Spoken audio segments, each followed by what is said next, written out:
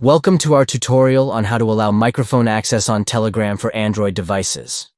If you're having trouble using the microphone in the Telegram app, follow these simple steps to enable the necessary permission.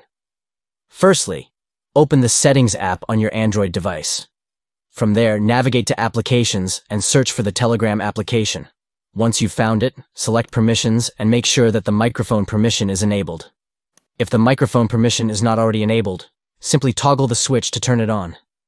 It's important to note that some Android devices may have slightly different menu options, so keep an eye out for any variations.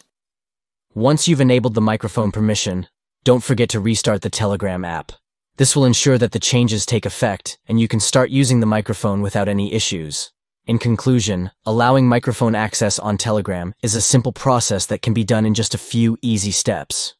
By following this tutorial, you'll be able to use the microphone in the Telegram app with ease. Thank you for watching and we hope this tutorial was helpful to you. Don't forget to like and subscribe for more tech tips and tutorials. Happy chatting on Telegram.